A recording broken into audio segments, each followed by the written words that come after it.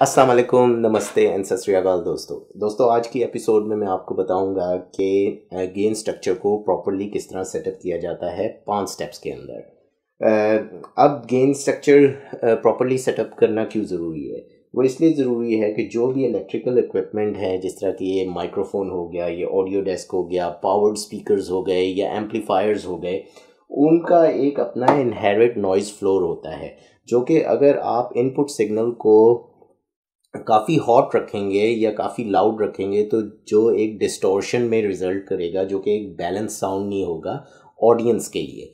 तो उसको हम एलिमिनेट करने के लिए प्रॉपर गेन स्ट्रक्चर को यूज़ करते हैं।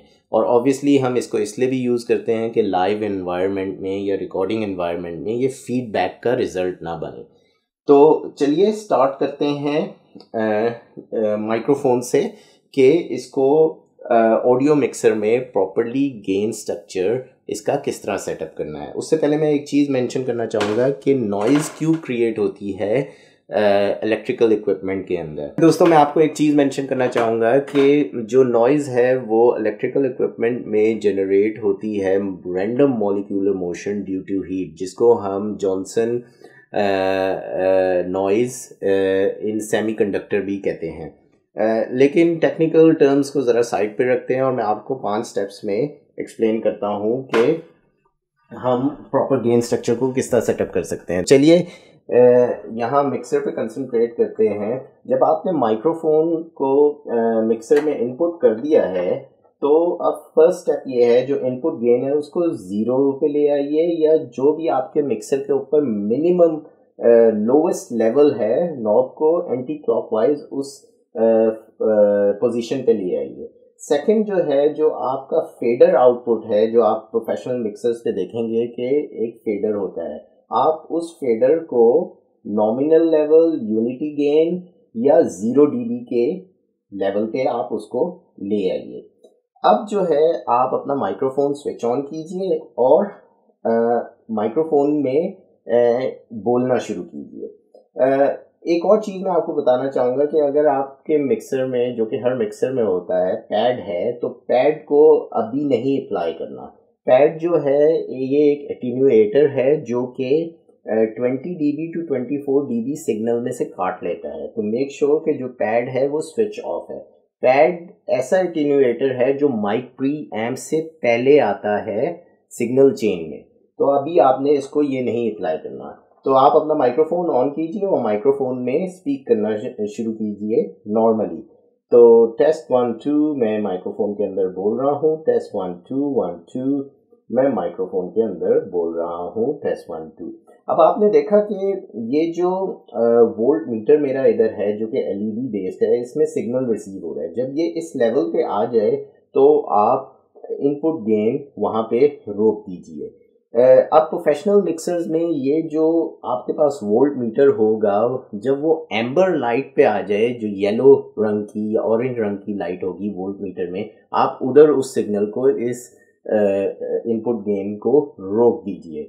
प्रोफेशनल मिक्सर्स में ये होगा minus eighteen D B to minus twelve D B amber लेकिन बेसिकली रूल ऑफ़ थम ये है कि जब ये ज़ीरो डीबी को वोल्ट मीटर टच करे तो आप उसको रोक दीजिए। मेरे इस मिक्सर में ये आप देख रहे होंगे कि जब आ, मैं बोल रहा हूँ माइक्रोफोन के अंदर तो ये जो सिग्नल की एलईडीज हैं ये ग्रीन लेट हो रही हैं। तो इसका मतलब है सिग्नल जो है वो ज़ीरो डीबी को टच कर रहा है और ये जो है पीक नहीं हो रहा या बहुत हॉट नहीं है या ये डिस्टोर्टेड नहीं हो रहा। थर्ड स्टेप जो है, जो आपका सिग्नल आउटपुट बस की तरफ़ जा रहा है जो के सिग्नल आप अपने स्पीकर्स की तरफ़ भेजेंगे, आप उस फेडर को नॉमिनल लेवल यूनिटी गेन या ज़ीरो डीबी पे ले आइए। और फोर्थ स्टेप जो है, आप, को मैं दिखाता हूँ स्पीकर के पीछे।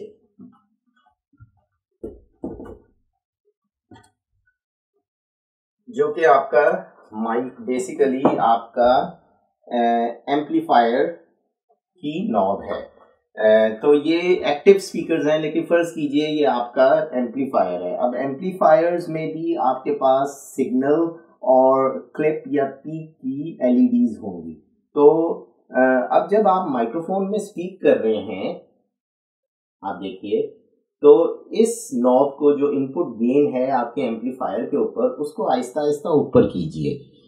और जब आपको अपना साउंड जो है, आपके ऑडिटोरियम या आपके रूम में प्रॉपरली सुनाई दे और एम्पलीफायर की जो पीक सिग्नल है या क्लिप सिग्नल एलईडीज हैं, वो लिट ना हो तो बस आप उसको उधर रोक दीजिए। तो दोस्तों, ये बेसिक था कि इनपुट गेन को प्रॉपरली आप किस तरह सेटअप कर सकते हैं अपने होम रिकॉर्डिंग स्टूडियो में या लाइव साउंड री इन्वायरमेंट में, जो कि बिग ऑडिटोरियम्स है, ताकि साउंड जो है वो डिस्टोर्टेड ना हो और आपका एम्पलीफायर जो है वो पीक ना हो या क्लिप ना हो या साउंड टू हॉट ना हो। ओके okay, दोस्तों होप आपने इस वीडियो से कुछ सीखा होगा कुछ लर्न किया होगा। अगर आपको ये वीडियो पसंद आई है तो इसको लाइक कीजिए सब्सक्राइब कीजिए और शेयर कीजिए। अल्लाह